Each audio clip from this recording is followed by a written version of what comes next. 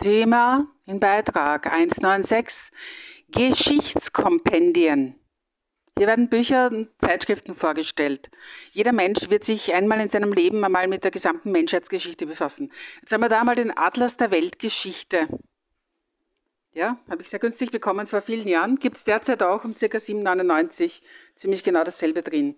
Das ist nur ein Ersatzbuch. Und zwar habe ich das bekommen äh, da geht es um, um alle Daten, also Zeitdaten äh, der Weltgeschichte. Das habe ich momentan verlegt innerhalb meiner Bücher. Also ich stelle das jetzt nur als Ersatz vor. Das war nämlich auch ein rotes Buch, das war etwas dicker als das hier. Dann haben wir hier die illustrierte Weltgeschichte in Farbe. Äh, und es ist sehr wichtig, den Atlas und die illustrierte Weltgeschichte parallel anzusehen, weil du brauchst Sie brauchen Text und Bild und die Daten, damit Sie einfach Ihre Assoziationen bilden können. Um dazwischen aufzulockern, stelle ich jetzt auch noch die Zeitschrift Damals vor.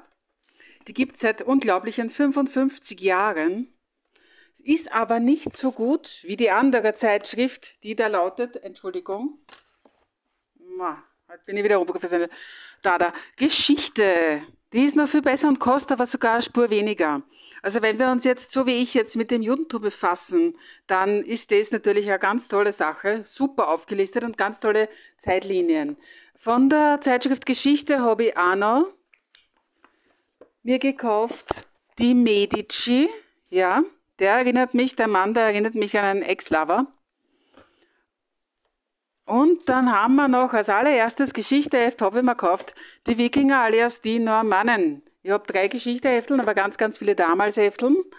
Und, und zum krönenden Abschluss, weil ich eben heute diese Aufnahme mache, fand ich, und ich weiß nicht einmal von welchem Verlag das ist, weil ich musste den Einband dort zurücklassen in einer Bücherbox, wo die Leute Bücher herschenken, für die sie keinen Platz haben. Eine Zeitliste, die über 700 Seiten geht, ja, und von Ursprung der Menschheitsgeschichte bis ungefähr Jahr 2004 immer bebildert.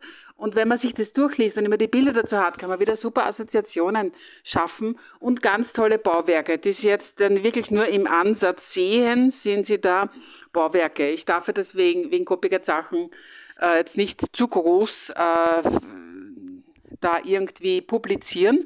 Aber das ist halt, wenn man sich dann anfängt zu befassen mit ähm, der Menschheitsgeschichte der gesamten, idealerweise mit Daten und Bildern. Danke.